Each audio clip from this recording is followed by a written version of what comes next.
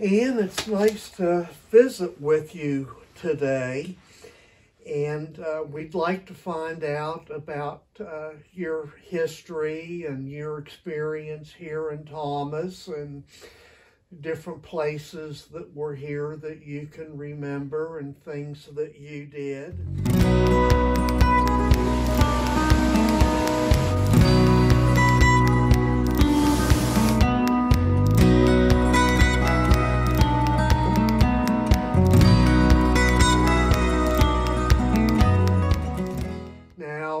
Mentioned that uh, you were actually born in St. George.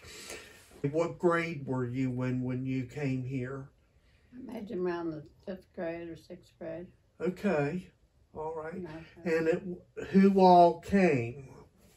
my mother and father, and I had uh, two brothers, Okay. and I had three sisters.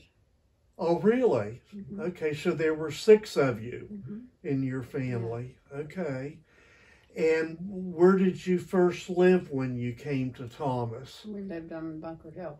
Okay, There on the top. okay. Did you say your dad was a miner? Yeah, he worked in the mines. So he worked for Davis Coal and Coke? Yeah, Which mine did he work in?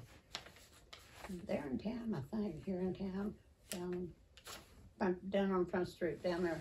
Okay, You worked down there. okay, so that was the one in back of the Esso station Yeah. or, okay. What things would you buy at the B and L? Just what you needed, you know, like for food or something like that. Did your mo- mother stay at home while Oh, yeah, your yeah. dad worked in the mines? Yeah, she didn't work. She worked at home with the kids. Okay, and uh, how many, do you know how many years your dad worked in the mines? No. Okay. Did he work there until retirement? No. My father traveled around. He didn't. He didn't stay in one place very long.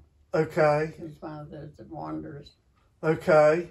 So what, did he go to different mines or Well, he worked in the woods, you know, and logging? stuff like that. Yeah.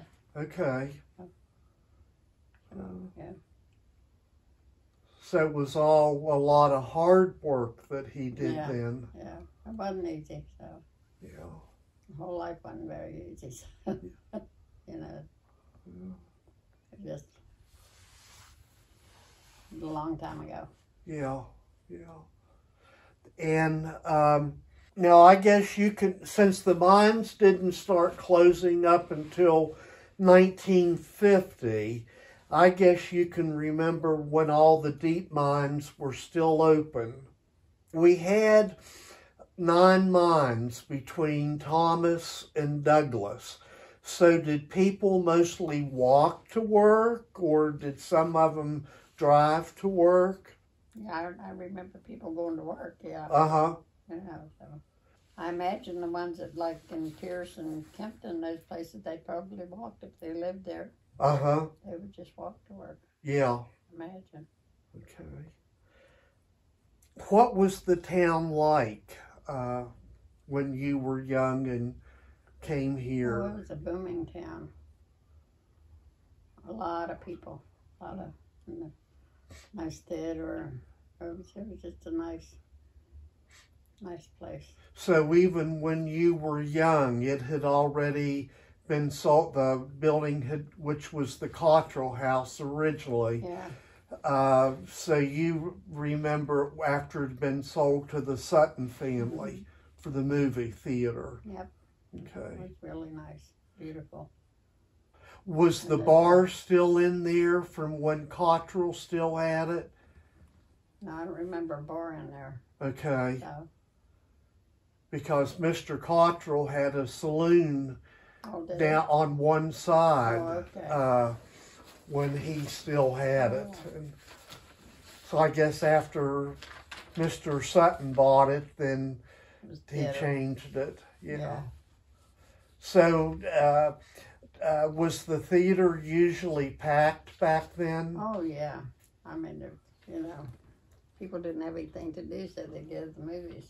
Uh It was huh. a beautiful theater. Uh huh. It's really, you know, remember the carpeted stairway all the way up, and it was it was, it was really beautiful. Uh huh. Oh. Do you remember any of the movies you saw there or what they cost? I don't remember that now. Okay. Do you remember when um, Ben Hur and um, Gone with the Wind played there? I saw movies, but I don't remember what I saw. You know, Uh huh. you know. Because I can remember uh, when those were there, and uh, you know this line was clear down the street with people waiting to get a ticket to get in. And I remember everybody would um, go downtown and park and watch everybody, you know, go in and out of the theater and the varsity and those places, you know. So, Uh huh. Know, that was a big thing to do. Uh huh. They couldn't get in the movies, so they sat and to other people. Uh huh. So Do you remember what other stores or businesses were in town then? yeah, Ruby Rubenstein store. Now, was it in the building that they owned where the Flying Pig was, or had they moved into the Shalansky building by they that were time? in the Shalansky building. Okay. No. And Shalansky was on one side and Rubenstein. Molly, yeah, and Rubenstein's on the other, and then Mike Ferruso's. What all did Mike Ferruso sell in his store? Mostly everything, I guess, you know. Mostly meats. You know, Uh-huh. Thing too. And Ruby's did too. Uh huh. You know, so were those were Rubenstein's and Ferruso's both mainly butcher shops, or did they sell a variety? I think they were mostly butcher shops, Okay, you know, so. Because um, uh, Rubenstein's had a farm down Sugarlands. okay, And they raised cattle and stuff down there. uh huh, And they butchered them down there. And they'd bring them back up to Thomas. okay. Were there any Jewish people here besides the Rubensteins and Shalanskys that you remember? I don't, th- I don't think so. So the may others had been. left, There may have been some, I don't know. but probably did, before your time. Yeah. Okay. Yeah. Do you remember any of the old timers who were from different countries? No. I don't think, right off. Okay, because I can remember um, Gentonios lived across the street from us up here at the top of Brown Street. Mrs. Uh, they were from she. He was from Italy. I can't remember if she was or not, but he still spoke uh, broken English. Oh, did he? And then um, there was um Mrs. Malakwish, two doors up from us. She was from Austria. And she was a hard worker. Her whole backyard was a garden. And back then, she leased uh, a bunch of property up, up here by the Catholic cemetery from the railway and she had a big uh, garden up there. Do you remember the war years from World War II when uh, a lot of the soldiers would go there? I can remember World War II because we lived up in Smoky Hall at that time. Okay, And uh, at Parsons. yeah, down okay. Parsons. And uh, you you couldn't have a light on because it would be, you know, uh, like sirens and stuff, you know, to get everything black. You know, you couldn't have lights or anything. I remember that. And I remember one time we had a light in there and we didn't have the blinds pulled or something. Uh huh. And they come and knock on your door. Is that right? Yeah. So, yeah. Now, were they the same soldiers that trained up at uh, Seneca Rocks uh, before they went overseas? I don't know. Maybe they were. You know, so. Because I was a kid then, you know. uh-huh. I don't know how old I was. So Okay. yeah, I can remember um, Ernie Nags. You know, he taught junior high yeah. English or uh, science, Science. and I can remember him living down Yeah. there. So, and remember how he had the brace Yeah, and the limp from where he had infantile Yeah. paralysis. So, I can remember him standing up against the wall, see if your posture was right. you like, like to do that with girls. uh huh. Yeah. Isn't that awful? Um, do you remember uh, Jack Ricco's bar Oh, yeah. in um, who was in the tobacco um, building uh, at that time? I know when I was young, Kaufman's department store moved in that building. Who was in there before then? Would have still been the Tobacco Brothers? Well, they had a store there too, didn't they? Right next to varsity. On Right, the left hand side toward the. right. That No, was the hardware store, right? No, they had the hardware was over on the right. Okay. You know, And what That's was on the- the left? that's further. They had a grocery store in there. Okay. Salvatore Tobacco. So that was his first grocery store, was in that building. I think so. All right, they split up later on. Did Jim Cooper own his store by the bank I think he when you moved here? I think he owned it. Okay. You know. Because, you know, that was the O'Connor building Yeah. originally. He was from Ireland. Oh, really? Yeah. And I guess he ended up leaving town, and that's when Jim Yeah. Cooper bought it. He had it quite a few years. yeah. Yeah. And the post office was in Yeah. that building. Yeah. Right. Yeah. Uh, later on, where uh, Renee Tobacco made her office as president, I can remember when that space was the um, post office. And um, Marie Younger was the postmistress. Yeah. yeah. So, and it was just uh, probably it was as wide as this space right It here, very- wasn't it? It wasn't very wide. No. Yeah. A little narrow place. And you ha- still had the mailboxes that had Yeah. the combination. So, it's a shame they didn't save some of those. Yeah. Wonder what they did with those.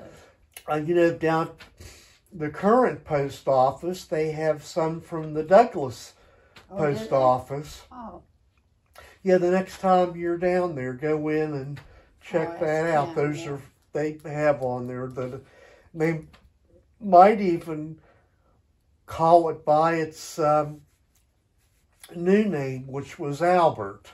yeah. Were the passenger trains still running? Oh, yeah. Did you ride the train? May have rode to Parsons one time. Oh, really? That's all? You didn't Yeah. ride it on a regular basis? No. Oh, you know, when um, Mother uh, was expecting my sister Pauletta, that's how she would go to uh, Dr. Go to the doctor. Leonfeld down at Parsons. Yeah. She rode the train. Yeah. Yeah. A lot of people rode the train, yeah. So, remember that old black stuff coming out of y- yes, landing? from the old steam oh, engines. my gosh, yeah. So, yeah. And was there a lot of traffic on the tracks that you remember? No, no, not that I remember, Okay. you know. so. because I noticed um, one time when I was down there walking that um, apparently there were six tracks uh, at one time. There was quite a few, I know, you know. Trains came in from everywhere. Uh huh. Do you know where all people could go once they uh, uh, rode the train here in town? I know they could go to Parsons. Where else could they go on the train? I don't know. I Okay, so you don't know I if they could go to. Oakland and Elkins. And, Cumberland, maybe. I don't know. okay. Did you ever uh, uh, buy any of the goodies that um, The roma or um. Nick DeMayo's? Yes. Yeah. What did you get peanuts, there? Peanuts. Probably peanuts. Is that where the peanut roaster and the varsity came from? I don't know. Might have been. Remember all Do you the remember that? And he always had a window full of peanuts. Okay. Yeah, Okay. So. smells so good. Uh huh. Oof. Did you get uh, his ice cream? Yeah, we used to sit on bar stools and have a little ice cream. Uh huh. Okay. Do you remember the drugstore? Yeah, Okay. John Pace. Is his name? John John Pace. Really? He he had it when you remember? Yeah, he worked in there. Yeah. Okay. Did you remember the guy who built it, Dr. Hoffman? I didn't know him now. He was gone by the time you came. But then there was a Dr. Curry. Yes, I didn't Correct. know him. I knew his wife. Yeah. So was Doc Curry actually a pharmacist and not a medical doctor? He might have been just a pharmacist. I'm not sure. Uh Okay. And Mrs. Curry was the teacher. Yeah. Did you have her in No. school? Who were some of the teachers you had? I didn't go. I didn't finish school. But during the time that you did. Slade Rubenstein. Oh, really? Okay. was um, a math teacher. Okay. Mary Bennett. Okay. Mr. Nags. Now, uh, Miss Bennett taught um, home ec. Yeah. So you had her for that? Yep. Okay. Mhm. And then did you have Mr. Nags for science? Mhm. Okay. Um, was Sally Watson there then? Oh, yes. Okay. And She's a librarian. she was always the librarian? Mhm, As far as I know. So she didn't teach any classes, just library. I don't know. I don't know. Okay. You know, she and uh, Dad's sister Ethel were good friends. Mhm. They taught together. I remember it. and um, uh, you know she and uh, Vicky Murhar would come to our house to visit, and uh, uh, you know Miss Murhar had a sort of an odd personality, but she was really a nice person, and um, uh, I remembered them both real well. What schools did you go to here? Just up on the The Thomas School. Thomas School. Yeah. Okay. And that was it all 12 grades when you went there? I think so. Yeah. Okay. Were there any particular teachers that you liked especially or who left uh, an impression with you that you still remember? No, I like I like everybody anyway. So Say what? I like everybody anyway. So Uh-huh. I probably like them. Uh huh. Yeah. Okay.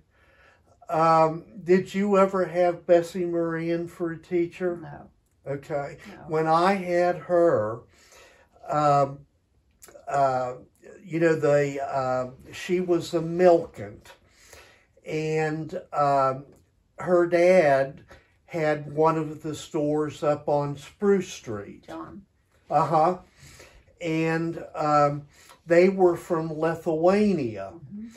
And uh, she would teach us uh, songs in Oh, Lithuanian did when we were in school. Uh huh. Yeah. They said she was a good teacher. She was. She was a very was. good teacher. I liked her. I can remember even when I was little how people sort of looked out for each other Oh, yeah. back in the old days. And, um, you know, if the children were doing something they weren't supposed to, it got neighbor- home before they did. And, Neighbors took care of it.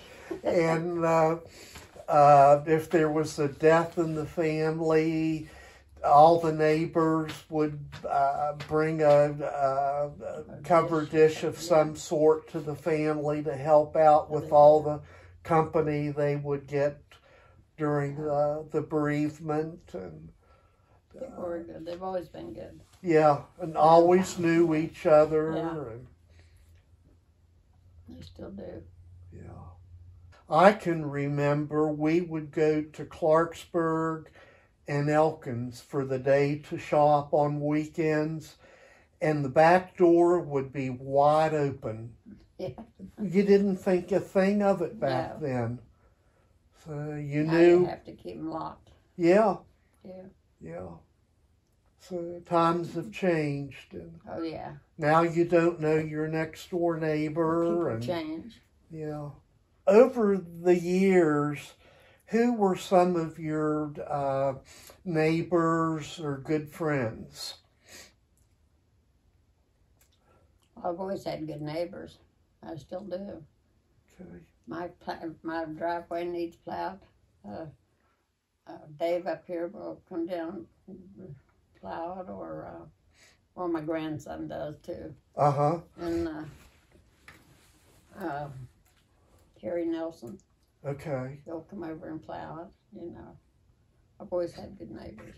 You know, You're still witnessing some sense of community oh, then, yeah. and neighbors helping neighbors. yeah, they do. Yeah. Mura Cooper seemed to be a big name in She town. had a restaurant. Okay, now I read where she managed the restaurant in the Metropolitan Hotel. Is that the restaurant that she ended up taking over, or was her restaurant somewhere else? She had one uh, up, you know, um, you know, there was a liquor store in town too. Right, in, in the was kind of on the Shalansky's dress where- shop where, building. uh, That's where her restaurant was? where Jack Ricco had his restaurant. Yes. That was Mura's. Okay, so it was in was Jack. Ricco's Yeah. building. Yeah. Okay. What type of food did she serve? Um, uh, like burgers and soups and stuff like that. Uh, so, Kind of like short order yeah, I think she things? did, yeah. Okay. Okay. Did you frequent the Roma restaurant? Oh yes, Okay. had a nice dance floor upstairs. Okay. The Midnighters played. Remember the Midnighters? No, I don't. I remember the Oh. polka dots, but not the Midnighters. They were great. What kind of music did they play? The kind I like. Big band music? yeah, big band. Yeah, Okay. Yeah, they did. They were wonderful. Yeah. Okay. All right. Yep. Was that how? Is that where you got to know Dot Dorothy Losh? No, I didn't know Dorothy until well, I've known her for years, but really got to know her from church. Okay. Church. Okay. You go. You and your family go to the Presbyterian church, Yeah, my right? mother-in-law used to play the piano at church. Oh, really? Dorothy. Okay. Yeah, Cangley. Oh, okay. I didn't years. know that. I knew uh, Dad's sister-in-law, Aunt Ruth, played, but I didn't know yeah, that. Dorothy Uh, played for a long time. Yeah. okay. Remember they they had a little thing upstairs. That's I they- sure do. The choir loft. and Yeah, that was a nice building. yeah. Yeah, she played oh, years. Okay. You know, Okay. she always wanted Fort to play, uh, take lessons. Know, Uh-huh. Stubborn wouldn't do it. Is that right? He was stubborn. He wouldn't do it. No, but Okay. he did sit down and play by ear. Uh huh. You know, so that was a long time ago too. So. I always liked her. She was a nice Yeah, she person. was. She was. She loved to entertain. The little, she was a little lady. She was a little short lady. Uh huh. she- Yeah. Yeah, she was. She was a go getter. Yeah. She raised Yeah. all those kids by herself. You Yeah. after her husband. And. I guess that was typical. You know, there was a lot of population here, Yeah. but I, I guess as a whole, life was difficult uh, for take in- people. she took in washings, you know, clothing to wash and Uh huh. irons and Uh huh. did that to help. And then the boys, when they went away, to Johnny and Pork and them, then they'd help her out, you know. But They Okay. worked away Okay. in Cleveland, so. And those were her sons. mhm. Okay. Okay. What type of people uh, frequented the restaurants downtown? Did they each have their own type of clientele, or did different groups of people go there to the different one? Different groups, you know. just Okay. Wander in and sit and have a burger and have a beer. Uh huh. So, Okay. Yeah, so, Okay. Yeah, I can remember going to DePolo's store. yeah. when I was little. And you remember how back in the back, next to the back counter, there was that um, potbelly stove, Yeah. and all the old timers Yeah. would sit around that popped up belly stove and stories. have a beer and tell stories. Stories. Yes. Yeah. Yeah, that was always Johnny's was enjoyable. always a, a busy place. Uh huh. Those guys, you know. So Yeah. And then I remember going in, even when I got old enough, going into Buckshot Thayer's place. I remember it after Stewart yeah. had taken it over. and, uh, um, you know, Aunt Burl and Uncle Dwayne lived in one of the apartments up over Buckshot's Oh, place really? and their apartment had steps down to the sportsman's club. Oh. And, you know, uh, Stewart uh, sold um liquor by the drink before it was uh, legal. Oh, And um, every time there was going to be a raid, someone would tip Stewart off. And he'd get the patrons together and they would um, haul all the whiskey up to Aunt Burl's apartment and hide it so they wouldn't get caught.